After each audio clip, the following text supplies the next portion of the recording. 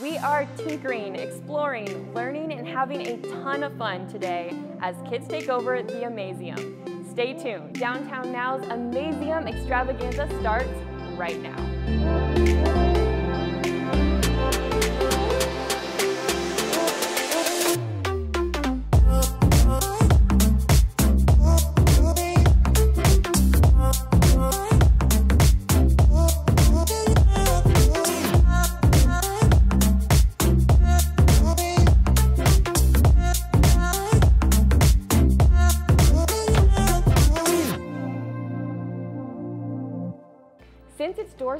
In July of 2015, the Amazeum has been a hub for curiosity, learning, playing, and fun for adults and kids alike. Today, we are showing you the 50,000 square foot museum through the eyes of some very excited helpers. Let's go to the side door and meet with the team. Hey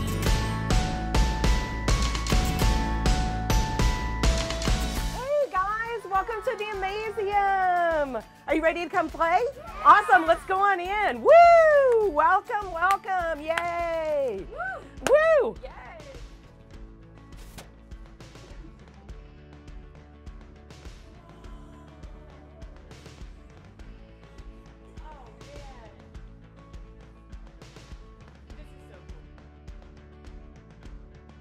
Hi guys, welcome. This is Kimberly and she's gonna take over from here. Great! Hi, Kimberly. Where are we right now? We are in the Curiosity Corner, which is the museum store here at the Scott Family Amazeum. Nice. Okay, I see a lot here for people to choose from and play from, and the kids have found some of their favorite things now too.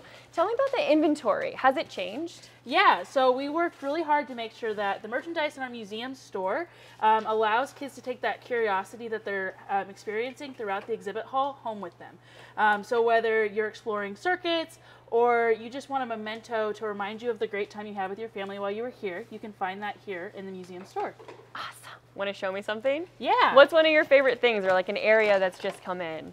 Yeah, so one of our promotions this month is um, this this later this month is the National Week of Making. So we're promoting Cool. making and tinkering throughout our store. We actually had a new product release um, curated by us here at the museum. What? Okay, where is that? Yeah, so that is um, this right here is called Scrappy Bots. It is an activity kit. So we took three of our favorite tinkering and making activities that we do at the museum all the time and packaged them up with a fun guide that you can do as a family at home and explore. Okay, well, I am gonna check this out while the kids find some of their favorite products, and then we'll head to our next spot. How does that sound? That sounds great. awesome.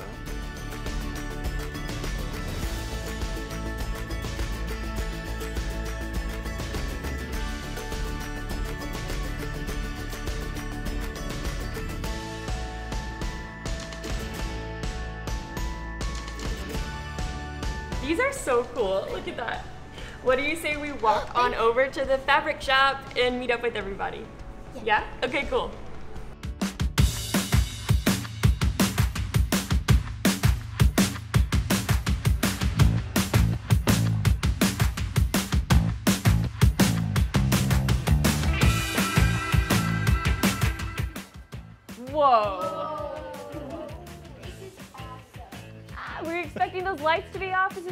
Cool.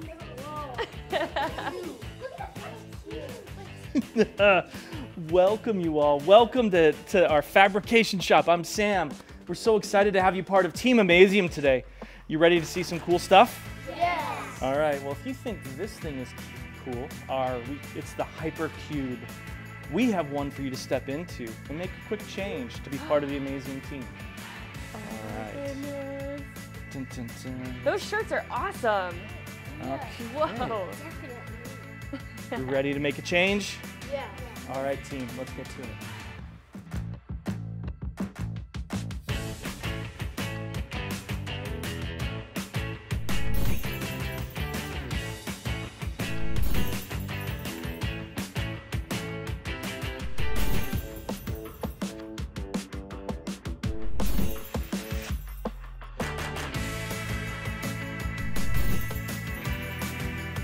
Sam, I just learned that you create some of your own exhibits here. Can you tell me a little bit about what that entails? Sure can. I mean, this is the thing we love. We work in a place about creativity, so we use that creativity to make the things we play with.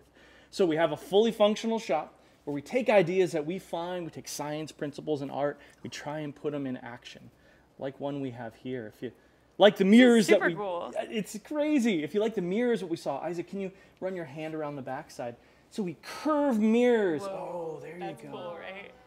So instead of having a flat mirror, if you have a lot of curved mirrors and lights behind it, you can get these beautiful reflections. They're called caustics. And so this is one that we think will turn into a full exhibit uh, this fall when we open up our show um, uh, f- uh, for everyone. But we're going to play with it first because by playing with it, we understand it a bit more. Let's, let's see two hands there. Oh, yeah. Yeah. And we're playing around with a couple of different ways we might either reflect or show light. Is it better with this up or, or down? You're giving us feedback. Down? Let's do that one. Down again. gives it that like pearly color. Yeah, kind of moody, right? I like that. This playing around with it is really important for us. This gives us the feedback of what's interesting and what we're going to play with and what we can then learn from, whether it's science, art, technology, or nature. I think that's so important. Playing is a way of learning. So that's exactly what we're doing here. And I know we have another exhibit we're going to go to, and I've heard that it's actually a very difficult one, so we need a huge team. So, Team Amazeum, mm-hmm. right? Yes? Bring it in. Let's go to the next exhibit. One, two, three. You're watching the Amazeum Extravaganza Show. We'll be right back.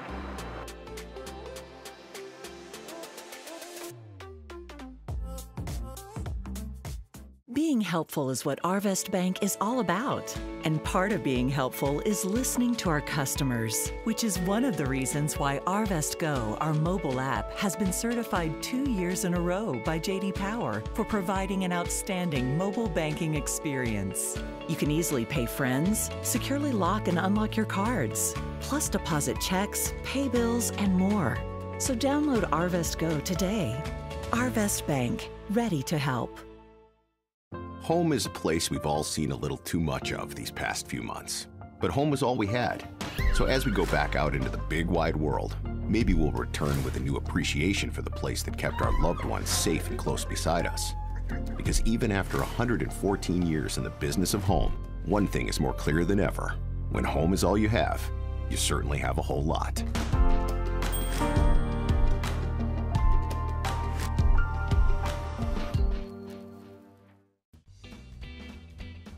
Make the Scott Family Amazeum in Bentonville your destination for fun, fun, fun.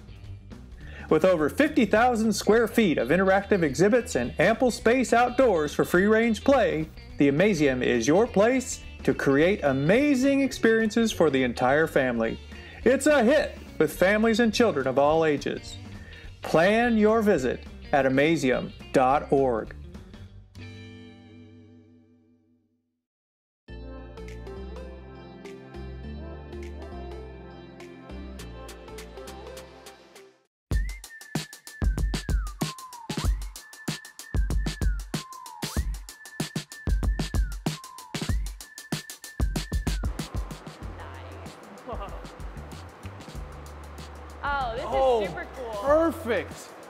thank you so much for coming here today. I need some help. Can you guys help me out? Yes.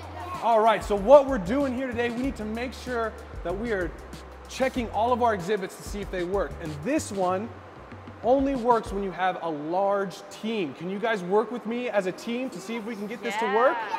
Perfect. Okay, so this is our Nickelodeon N. Okay, and we have to work together as a team to find the different circuit or the circuit matches. Okay, so there are all sorts of cool icons that match up together, and we need to find those matching icons and see what happens. Do you guys think you can help me find these matching icons? Yeah. Let's do it. All right. Where do we want to start first? You want to start here. Okay. What do you think goes? Whoa, you found one. Oh my goodness, that's amazing. Let's see if we can find another one. What's the match for this? For this net right here. What do you think that match is? Nice Can we it. find it? Oh, it's not the dog. Is it? Not the beach ball. Let's see. What if it comes over here? Do we think that's a jellyfish net? So what if? Oh, the jellyfish net isn't. What if we try to hold hands and connect it together while holding hands? Can we do that? Yeah. So can you grab her hand? Nice. You grab, and now you Got it? hold her hand. Whoa! it changed colors. How did that happen? You found the match and That you worked so together to combine the match. Let's see if we can find some more matches.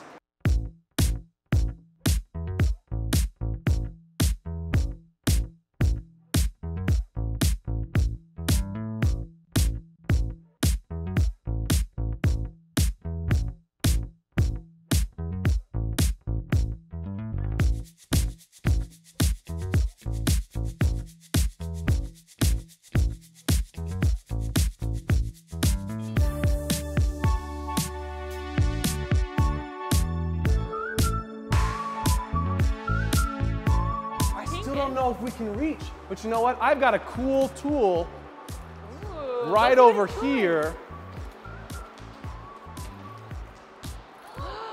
called alligator clips. Alligator clips might be able to help us match all of our, our matching icons together. Have you guys ever used alligator clips before? Okay, so they're called alligator clips because you can see if you squeeze down on the on woo, on the clip, it looks like an alligator chomping, right? So let's try to use these alligator clips, connect them together, and match all of our icons at once.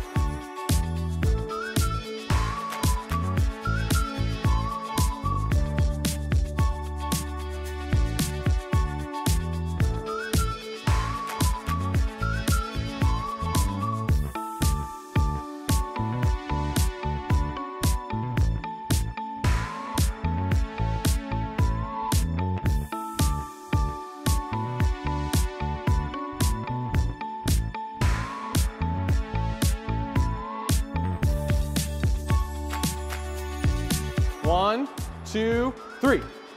Whoa! Whoa! Oh, that is so cool. What happened is this is a giant circuit board and we just connected all of the circuits using alligator clips and our bodies. Do you know why our bodies work with the circuit board? Our bodies have energy, that's right. We have electricity running through our body. So we were able to link that electrical power together and create an awesome, colorful rainbow. You guys wanna do it one more time? Let's do it one more Let's time. do it. Grab, get her hands. Hold All right, ready? too. One, two, three. Whoa! Guys, we're like superheroes. Yes. Super, super cool. Well, it took us a while to, to find all of those connections, but because of you guys, we were able to make sure this exhibit works and works very, very well. We saw an awesome rainbow, we saw all the cool surprise colors, and I don't know, I had fun. Did you guys have fun? Yeah. Perfect. That's all that matters here at the Amazeum is exploring and having fun together. Thank you guys so much for helping me out with this. Thank you. I think that deserves a Team Amazeum all in, right? Oh, Join us. you're gonna You're have to show me how to do this. Let's do it. Team Amazeum. One, two, three. Team Amazeum! You're watching the Amazeum Extravaganza Show. We'll be right back.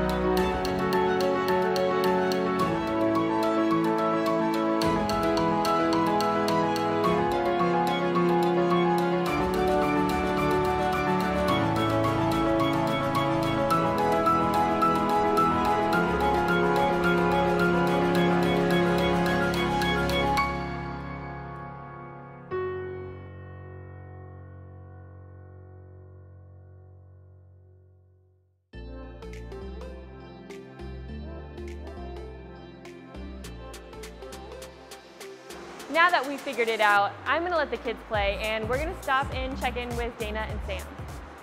The rainbow took some time. it did. Sam Dean, founding executive director of the Amazeum. Thank you for just chilling with me. This is more my speed. This this nice log cabin here inside the Amazeum. You know, when we were building the Amazeum, people didn't want to leave. People told us they want to have, they want to remember what the past looked like, Mhm. and I think they had it right. I love having a little porch to relax, have conversations like this with you. This is a great place to chat. We were watching the kids create the rainbow arch, and those kind of things sometimes aren't instant. They take time. But we showed they showed perseverance, and that's something you teach a lot here at the Amazeum.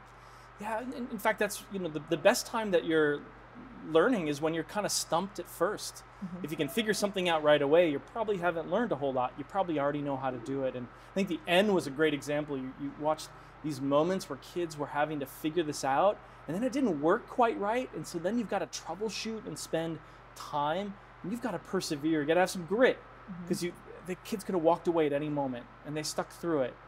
And boy, the look on their faces at the end, oh my gosh. I mean, you could just feel that energy and that joy when they finally got it to, to rainbow up. Such a transferable skill set, especially in Bentonville and Northwest Arkansas. We have such a entrepreneurial ecosystem.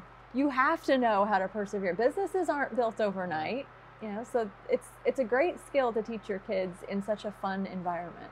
Yeah, I mean, learning how to figure it out and not give up. I feel like that's entrepreneurship 101. Mhm. You got to figure it out for yourself, find people to help you, like a Kobe, find a Kobe to help you, um, and then make sure you stick through to the end. I wanted to go back to the beginning of the Amazeum, and it was also something that took a lot of time and a lot of perseverance. It it took almost a decade um, from the moment. Thank you, Emma. Sam, can I offer you an apple? Oh my gosh, this is a perfect apple. Thank you. From Good the minute that you guys thought of the idea to have the Amazeum, it, it took almost a decade to have this building here that people could enjoy. Tell us a little bit about how that happened.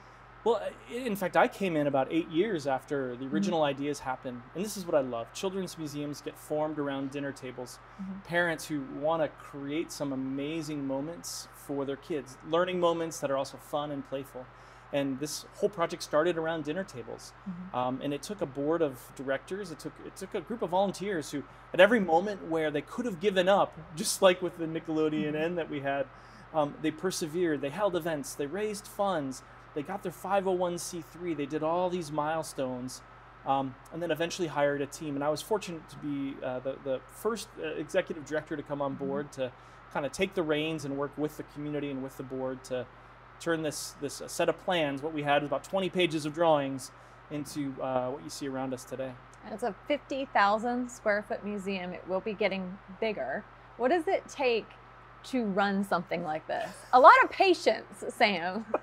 but what else aside from patience? It takes a lot of patience. Um, you know, I mean, one of the things I think one of the secrets of a, a, a building like this, a type of learning place like this, is that the building is is actually in service of a greater mission. It's about learning. It's about creativity, uh, creativity, curiosity, and community are three C's. And the first thing is it takes building a great team. And so that what we've done is we put in place an incredible team that has been growing and learning themselves over the last handful of years.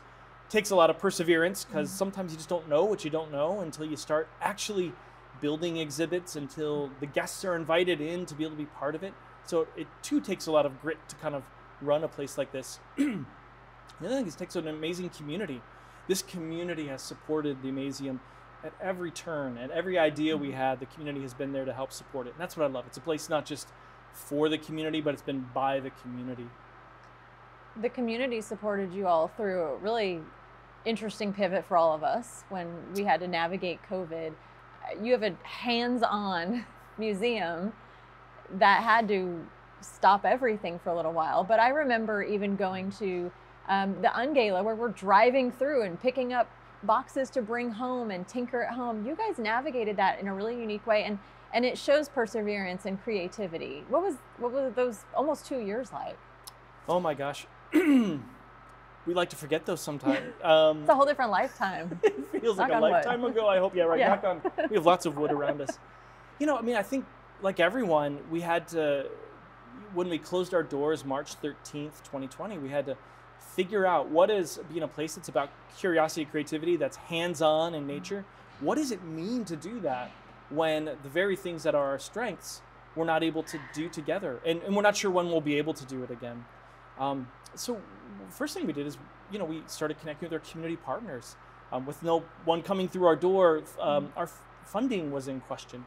So we're able to get partners together to help fund our team to stay in place. Over half the museums around the country um, had to make different choices with their team and, and had just really tough times being able to maintain by being able to maintain our team intact then we can move how do we deploy our team in different ways and so we had our teams doing things like going to uh, next uh, uh, uh, uh circle of life and, and some retirement communities and chalking out in front of places we had we launched Amazeum U, a way to do uh, learning and tinkering at home. We did mm-hmm. our first, our fundraiser during the pandemic um, was mm-hmm. all about not being as much around each other, but still being able to play within close proximity. We moved a lot of pieces outside.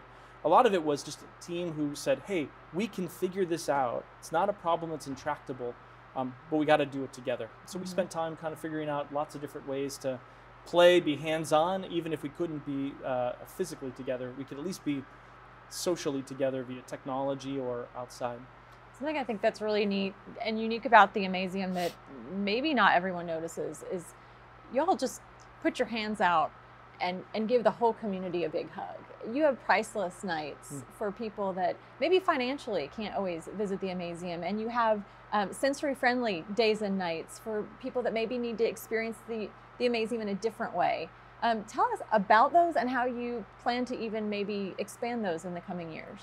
Yeah, I mean, I think you, you hit it right in the head. We, we can't be about community if we're not for all the community. Mm-hmm. And, and so for us, it's a journey of learning. It's a uh, journey of just listening to different, um, you know, we talk often about community as a singular thing, but we, we know it's not. It's a collection of communities, and each have their own needs and, and wants and desires. And financial access is one, so like priceless nights or uh, you know, the thousands of passes we give away uh, for Amazeum for All are one mechanism. Um, having bilingual signage is another one, and sometimes trilingual materials. We know language barriers can be another one. Sure. So we're going to continue having listening sessions with communities of all different uh, types and backgrounds here, uh, and making sure that we're uh, both accessible and welcoming uh, to, to all. Now, it also means we need to age up a little bit. So we're going to look at different audiences, like working more with teens and adults. Um, in fact, as the museum is looking to make its changes, the space may change and reflect some of uh, uh, experiences for teens and adults getting in, getting kind of dirty with their hands um, uh, in a shop environment or, or in an exhibit hall. As an adult, I will say that the adult nights here are fantastic. It's super fun to get a babysitter, stay at home, and come explore the Amazeum with your husband or spouse or, or good friends. So that's something I hope you keep because we enjoy those. Uh, so you are, I don't want to say you're growing up because it's not fun to grow up. The Amazeum is growing just bigger, um, expanding. Tell us That's a little right. bit about some of that. Yeah, Tom Waits, I don't want to grow up. No, right? we don't want to grow up. uh, we don't, because play is how we want to learn through our lives. Mm-hmm. Um, but we know that, that more people need more opportunities to play. So, you know, the Amazeum, uh, we need more space. So we're going to be looking to expand and we're looking to bring a community-based maker shop, uh, maker space as part of it. We know teens and adults have incredible capacity uh, to be able to imagine ideas, and now we want to be able to put the tools and the mentorship in hands to be able to make those ideas come to life. We know we want to do more science and technology-rich experiences, more STEM-rich experiences. So we'll be increasing galleries. In our work with teachers, we need more classroom space so that we can work with kids and adults at the same time as it is now, we end up having to choose which audience we're working with on a given day based on the space that we have. What is, uh, just to end this, if kids have never been here or if they have, what's Sam's pick for the best thing to do within the Amaze? I know it's hard, but if you said you have to come here and do my favorite thing, what's your favorite thing? So, so uh, I, I'm, I am horrible at this pick your favorite thing game. So I'm going to try because okay. what you need to do is come and explore and be ready to come back. I think if you have an extra set of clothes, you should definitely go into the water area. You're going to get a little wet, but it's going to be worth it. And if you're over seven, go into our tinkering hub because mm-hmm. we're going to put tools in your hand. We're going to introduce you to some explorations that you probably haven't seen before. Mm-hmm. Um, and it's going to inspire you to then try some things at home. The water is my favorite too. It's the best. Yeah. Once you know that if you got kids, Yep. bringing some extra clothes and you're good to go. Let them run around outside afterwards. They'll dry. They'll be fine. All right, Sam. I'm going to sit here and enjoy this delicious red apple and and enjoy this beautiful cabin. Thank you for joining us, and thanks for letting us explore the Amazeum today. Uh, thanks for coming out. This is uh, fun to be able to play with you and Team Amazeum today. Yes, and Downtown Bentonville Incorporated, you're one of our favorite partners to work with, so we appreciate you and, and can't wait to work with you in the future. Yeah, likewise. Come on back anytime. Thank you so much to the team at the Amazeum. I had a ton of fun, and I hope you did too. To learn more about the Amazeum, head to amazeum.org. Thanks for watching, and we'll see you next time. Oh, oh, oh.